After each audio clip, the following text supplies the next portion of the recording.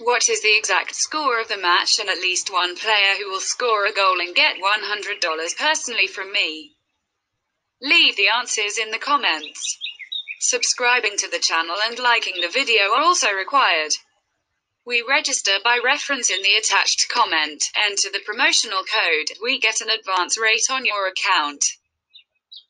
Stadion Podgorica will host Wednesday's Champions League qualifier between Budućnost and Ludogorets.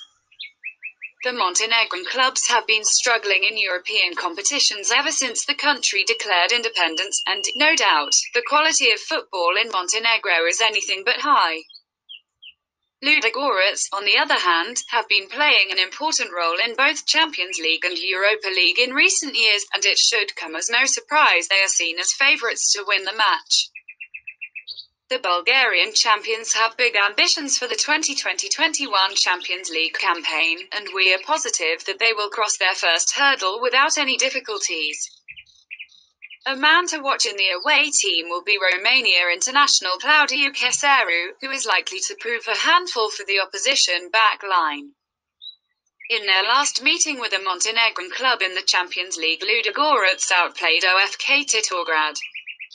Prediction 0 to 2.